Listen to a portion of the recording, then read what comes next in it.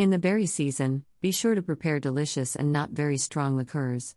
Today I will show you how to make a delicious, bright liqueur from red currants. Take the recipe into service. Prepare all the necessary ingredients for making a red currant liqueur. Pour sugar into a saucepan and pour in water. Bring to a boil and cook for 2 minutes. Remove from the heat and cool. Wash the currants, dry them, remove the tails, and put them in a glass jar with a wide neck. Pour vodka into a jar with berries. Pour the cooled sugar syrup into a jar with vodka and berries.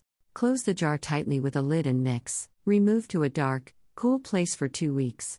After two weeks, strain the contents of the jar through a sieve. Squeeze the berries through a sieve and add the juice to the strained vodka. Once again, strain the liqueur through a folded gauze in two layers. Pour into a bottle, cool and serve to the table.